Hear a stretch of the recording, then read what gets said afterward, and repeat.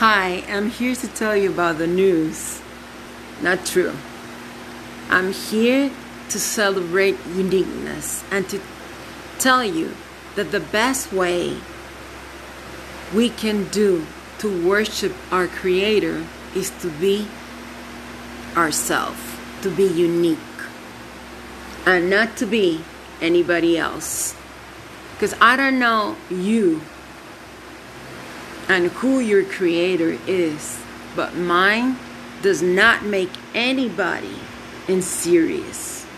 We're all different and unique.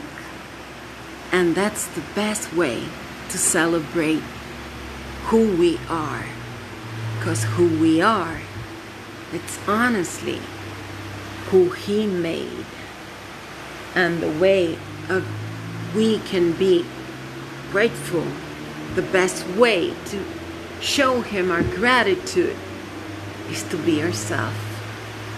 So remember the Creator that we serve.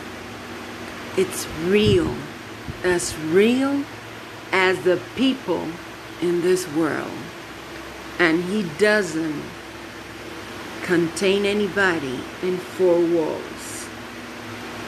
He doesn't contain you as any type or any form.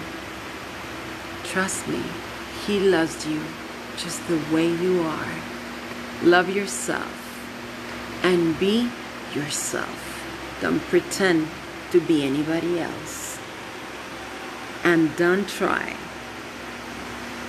to be made in serious because our Creator is the Most High God.